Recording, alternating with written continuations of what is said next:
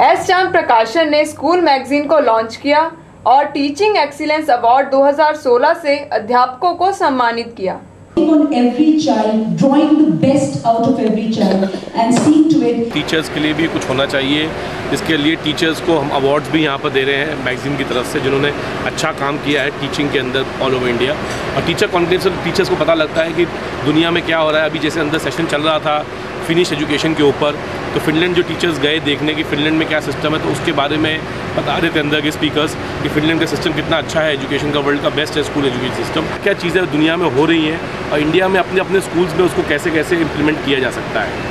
Think थोड़ा सा government को सपोर्ट और करना पड़ेगा मिनिस्ट्री ऑफ़ एचआरडी को कि उसके लिए कुछ अच्छे सिस्टम्स टीचर्स के लिए बनाएँ, अच्छी ट्रेनिंग टीचर्स को दें रीट्रेनिंग करें टीचर्स की बिकॉज़ सिर्फ़ एक बार टीचर बनने से काम नहीं चलता है। आज की दुनिया में रीट्रेनिंग की बहुत ज़रूरत पड़ती है। तो मैं समझता हूँ उसमें गवर्नमेंट का कुछ सपोर्ट चाहिए कि थोड़ी उनकी सैलरीज और बाकी चीज़ें इंफ्रास्ट्रक्चर स्कूल्स का इम्प्रूव हो और टीचर्स को प्रोफेशनली उनको भी फ़ायदा मिले।